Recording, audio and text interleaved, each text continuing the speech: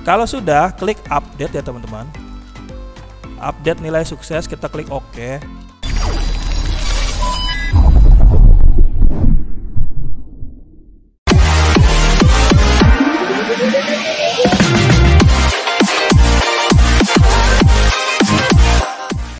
Assalamualaikum warahmatullahi wabarakatuh. Halo apa kabar semuanya? Mudah-mudahan semuanya dalam keadaan sehat. Kembali lagi bersama saya Rudi Doa Masih dalam seri review aplikasi buku induk siswa Visual Basic Excel. Nah pada pertemuan kali ini kita akan coba Bagaimana cara input data siswa baru di aplikasi uh, buku induk. Tanpa berlama-lama mari kita mulai tapi sebelum dimulai tidak ada salahnya teman-teman semua dukung channel ini dengan cara klik subscribe, like apabila suka dan share apabila menurut teman-teman channel ini bermanfaat. Mari dukung channel ini agar lebih berkembang khususnya bagi pendidikan Indonesia. Pada pertemuan kemarin kita sudah berhasil bagaimana cara merubah identitas satuan pendidikan dan merubah pengaturan mata pelajaran serta pengaturan kegiatan ekstrakurikuler. Kita sekarang akan coba input data siswa baru. Bagaimana caranya? Ada dua langkah. Yang pertama bisa melalui menu tambah siswa atau bisa melalui menu ini. Sama saja. Kita klik. Nah, nanti di sini nomor induk dan ID registrasinya itu akan otomatis ya. Kita akan coba inputkan. Misal uh, nomor nisnya ya karena nomor nis itu dari sekolah jadi kita ngasal aja. 99 lah. Nomor induk siswa kita isi 10 digit sampai muncul checklist ya. Nama lengkap misalnya Ahmad Sifaur Rizal Nama panggilan misalnya Rijal.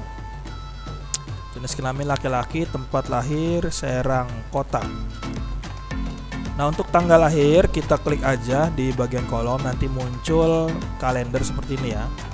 Tanggalnya misalnya 5 April tahunnya 2018. Kita pilih oke. Agama keluarga negaraan kita pilih. Terus anak misalnya anak kedua juara balah jumlah saudara kandungnya 4 saudari kirinya 0 saudara angkat 0 status yatim atau piatunya apa? Misalnya piatu lah.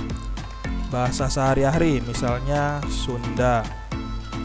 Alamat misalnya jalan Domas Raya desanya Domas. RT RW nya kita pilih misalnya 3 1 kecamatan Kontang Kabupaten Serang, provinsinya Banten. Nomornya kita ngasal aja. Tinggal bersama kita pilih sama orang tua, jarak dari rumah ke sekolah misalnya 15 meter. Alat transportasinya jalan kaki. Nah, selain kalau sudah diisi semua, kita pilih selanjutnya ya, teman-teman. Nanti di sini ada tujuh tampilan yang harus diisi atau tujuh form yang harus diisi. Ini baru satu, kita klik.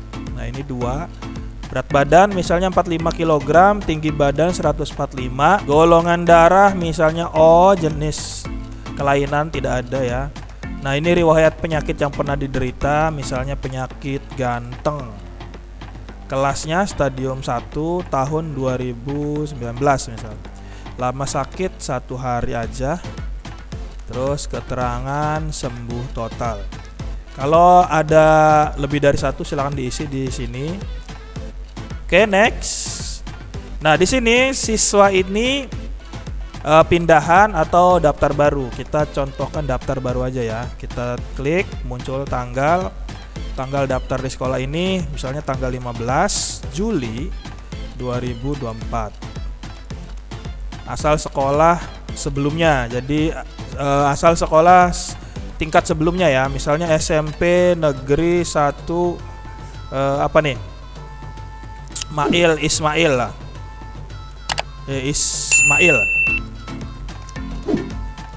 Alamat sekolahnya misalnya Jalan Durian Runtuh.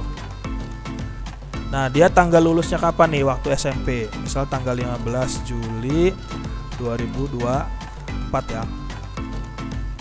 Sekarang nomor ijazahnya kita isi misalnya nomor SMP 1 2024 lah. Ini contoh dong ya. Next. Oke, sebalik lagi dulu. Kalau misalnya siswa daftar baru, maka yang pindahan jangan diisi ya, teman-teman. Kalau siswa ini pindahan, maka yang daftar baru ini jangan diisi biar tidak error. Next. Identitas ayah misalnya Ahmad lah. Serang tanggal lahirnya ngasal aja warga negaraan, pendidikan, pekerjaan misalnya nelayan, penghasilannya di bawah 500.000, alamatnya Jalan Domas. Identitas ibu sekarang misalnya Siti, tempat lahir Kota Baru, tanggal lahirnya ngasal aja, warga negaraan, pekerjaan misalnya karena tadi piatu kita pilih meninggal dunia ya Terus penghasilan ibunya tidak berpenghasilan alamat Jalan Kota Baru. Next, nah di sini alamat apa identitas wali ya. Silahkan mau diisi wali laki-laki atau perempuan ya. Kita isi eh, laki-laki uh, aja. Misalnya Julianto, tempat lahir Semarang, tanggal lahirnya kita ngasal aja. Identitas Pekerjaannya misalnya belum bekerja buruh pabrik lah. Penghasilannya tidak berpenghasilan, alamatnya Jalan Kota Lama.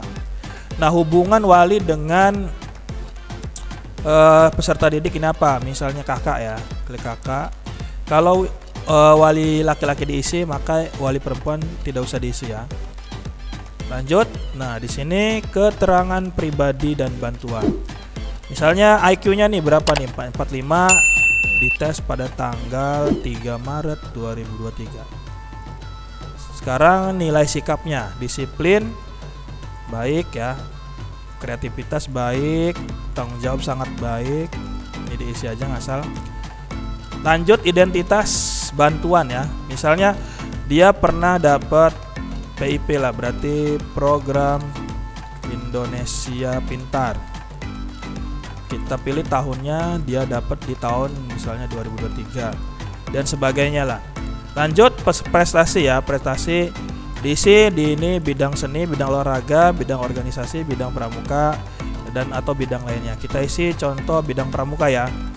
Juara dua teknologi tepat guna. Tingkat provinsi lah. Provinsi tahun misalnya 2021 next Nah, di sini teman-teman perhatikan ada data lulusan, data pindahan dan data putus sekolah.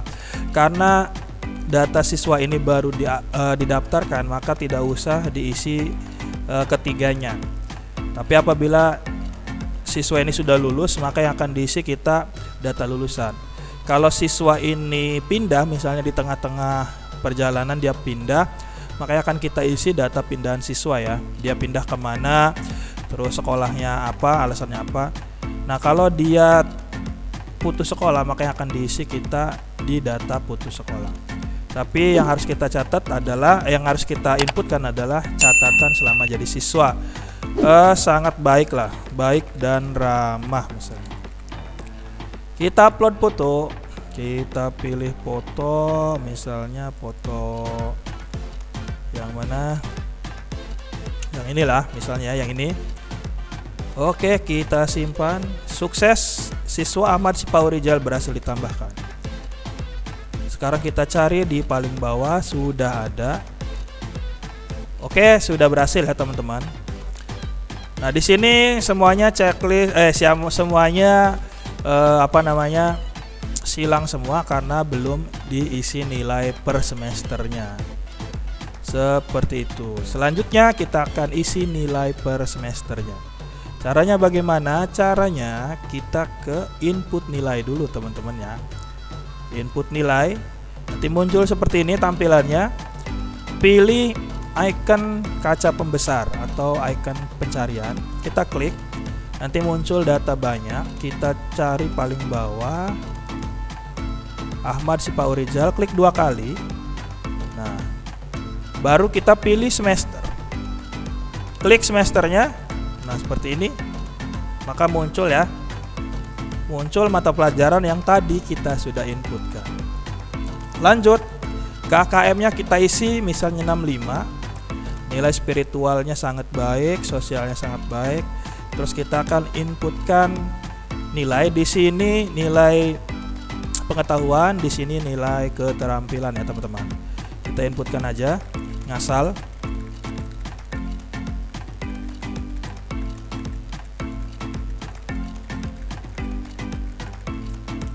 Ini ada yang kelewat.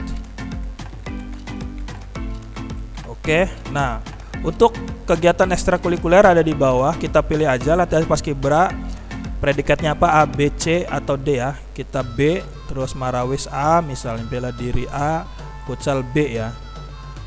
Sakitnya berapa dalam satu semester? Misalnya dua izin misalnya tiga alfa misalnya nol lah. Kalau sudah klik update ya teman-teman.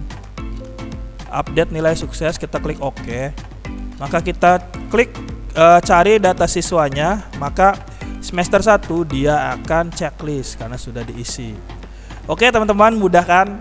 Lanjut. Nah kita akan coba edit data siswanya. Misalnya di sini kita edit Ahmad Rizal di bagian edit siswa. Kita klik aja. Nah misalnya di sini kita akan merubah foto ya. Kita cari fotonya. Nah ini kita akan rubah fotonya. Jadi foto ini Oke, kita simpan. Sukses siswa Ahmad Siporijal berhasil diubah. Mungkin itu saja teman-teman uh, demo bagaimana cara menambahkan data siswa dan input identitas uh, input nilai siswa mudah-mudahan bermanfaat. Kurang lebihnya yang terakhir jangan lupa bahagia, tetap semangat. Assalamualaikum warahmatullahi wabarakatuh.